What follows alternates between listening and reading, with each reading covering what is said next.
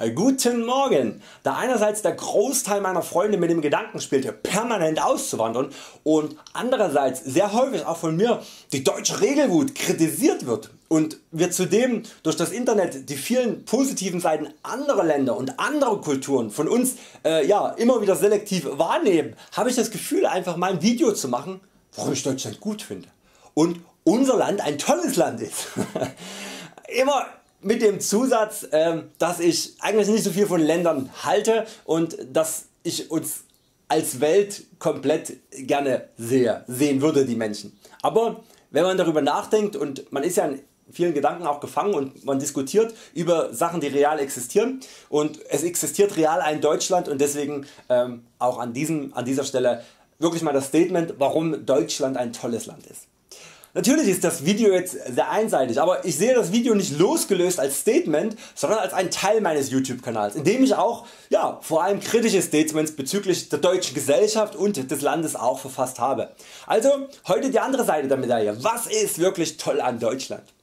Wir sind ein Land der Denker und Menschen die Potenzial und auch den Willen haben diese auch abzurufen und, ähm, und das wird durch unser Bildungssystem gefördert, sodass auch sozial benachteiligte Menschen sehr gute, nicht die gleichen, aber sehr gute Chancen haben aufgrund ihres Intellekts die Dinge zu tun die auch die Menschen tun können die gut betuchter sind. Und ja, das finde ich, find ich richtig klasse. Wie gesagt heute nur Positives, gerade bei dem Bildungssystem fallen mir jetzt schon spontan wieder einige Abers ein. Ähm, äh, auch dass das Denken überpriorisiert wird in unserer Kultur. Das ist äh, Nährboden für reichlich Kritik, aber heute wirklich nur die Sachen die toll sind. Also deswegen auch nichts Negatives zum Denken, also das Land der Denker. Ne? Also nur Positives. Äh, einfach mal einseitig betrachten. Für mich gar nicht so einfach. Äh, okay, äh, kommen wir zum nächsten. Ich bin ja Sohn eines Bäckers und ich kenne kein Land auf der Erde was so leckeres Brot und vor allem in so vielen Facetten backt.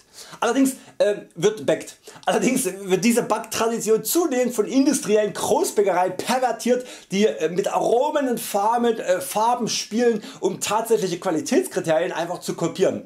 Ähm, ich habe zu den erschreckenden Inhaltsstoffen ja schon einmal ein Video gemacht, oben in den Infokarten. Also wenn ihr das Geld habt, kauft lieber beim kleinen Handwerksbäcker und nicht bei den Discountern. Das Backhandwerk in Deutschland ist wirklich meiner Meinung nach richtig klasse und weltweit unerreicht, trotz der negativen Entwicklung. Aber da wollen wir ja nicht drüber reden heute. ich hab's doch getan. Egal, weiter. Ähm, Deutschland steht für Verlässlichkeit und für Qualität, sowohl im Inland als auch im Ausland. Und das aus auch gutem Grund. So sehr Richtlinien und Normen nervig sein können, so stellen die bei der Produktion von Gütern ja einen sehr sehr hohen Standard sicher. Auch hier der Hinweis, äh, kauft äh, deutsche Produkte, insbesondere bei komplexen Geräten, wenn ihr wirklich Qualität haben wollt. Es ist einfach der Fakt, das ist meine persönliche Erfahrung. Und auch aufgrund des Zolls und der, der teilweise irrsinnigen Einführgebühren Gebühren, zahlt ihr manchmal sogar für, für schlechtere Qualität aus dem Ausland denselben oder sogar noch mehr. Bestes Beispiel ist da immer, gerade weil ich jetzt gerade recherchiert habe, der Vitamix, der in den USA für 400 Euro weniger angeboten wird und hier dasselbe kostet wie der qualitativ sogar meiner Meinung nach hochwertigere und äh, mit einem Edelstahl statt einem Plastikbehälter angebotene Harexco. Äh, den Link zu diesem Test findet ihr auch oben in den Infokarten oder unten in, den, in der Infobox. Weiter geht's mit den positiven Dingen in Deutschland. Pünktlichkeit. Ich liebe Pünktlichkeit, weil es ein Zeichen von Respekt ist. Und in Umfragen was Pünktlichkeit angeht, rangieren die Deutschen ganz ganz weit vorne. Auch äh, wenn ich gerade in meinem Freundeskreis Hallo Silke, äh, in ein statistisches Loch gefallen äh, zu sein scheine, äh, ist es de facto so dass in Deutschland wirklich die pünktlichsten Menschen leben oder mit die pünktlichsten Menschen leben. Die, die Möglichkeit auch in Deutschland, dass man innerhalb des Deutschlands, innerhalb von Deutschland sozusagen von den größten Bergen bis hin zum Meer alles im eigenen Land haben kann, das ist auch wunderbar in Deutschland. Dass wir Winter und Sommer genießen können, auch so das beides, wunderbar. Klar, wenn man nur eins der beiden mag, dann äh, freut man sich immer nur über den einen Teil, aber den anderen Teil nicht. Aber unsere Kinder haben erstmal überhaupt die Möglichkeit beides kennenzulernen, den Winter und den Sommer und ihre Erfahrungen zu machen. Weiterhin ist die Trinkwasserqualität in Deutschland extrem gut. Wir wissen es oft gar nicht zu schätzen, dass wir ein elementares Grundbedürfnis einfach so stillen können, indem wir in die Küche gehen und äh, ja, quasi den Hahn aufdrehen. Ich will Euch jetzt nicht mit den armen afrikanischen Kindern kommen, aber in vielen Teilen der Welt, auch in westlichen Ländern, da kannst du nicht einfach so den Hahn aufmachen und äh, da kommt sauberes Trinkwasser raus. Ne? Weiterhin, die weibliche Emanzipation, die mit einer weiblichen Bundeskanzlerin quasi gipfelt, ist für mich einer der Gründe wirklich stolz auf unsere Kultur zu sein. Obwohl es, wie wir gerade in der Flüchtlingskrise gesehen haben, so viele verblendete und egoistische Menschen auch bei uns natürlich noch gibt, ist der Großteil der Gesellschaft für Gleichberechtigung aller Rassen, aller Geschlechter und aller Sexualitäten. Ähm, das ist auch ein Zeichen der geistigen Evolution. Gerade wenn ich mir arabische oder afrikanische Staaten anschaue, bin ich sehr sehr sehr sehr sehr froh in Deutschland zu leben. Und da sind wir auch direkt bei der Meinungsfreiheit. Hier in Deutschland kann man wirklich fast alles öffentlich als Meinung raushauen. Sogar total stumpfe Beleidigungen gegenüber anderen Staatsoberhäuptern werden in einer angespannten politischen Situation auch als Satire akzeptiert. Man kann Theorien wie dass Amerikaner ihre, ihr World selber gesprengt haben, dass die Erde eine Scheibe ist und dass die Regierungen ja, uns mit den Abgasen von Flugzeugen bewusst schaden wollen, öffentlich vertreten und passiert gar nichts, das kann man sagen. Und nicht zuletzt kann man sich äh, kritisch mit der Gesellschaft als solches auseinandersetzen, also mit uns quasi, mit der gesamten Gesellschaft. Du kannst alles kritisieren und das finde ich richtig gut in Deutschland.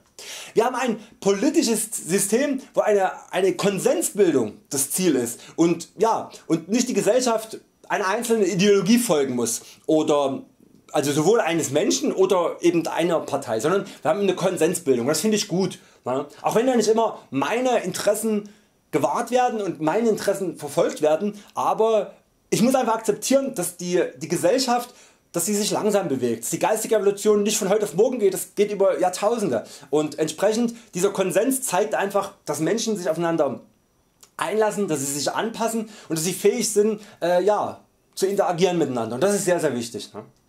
Ähm, ja, wir haben ein hochtechnologisiertes Gesundheitssystem, was zudem auch noch offen für Naturheilverfahren ist, in letzter Zeit vor allem.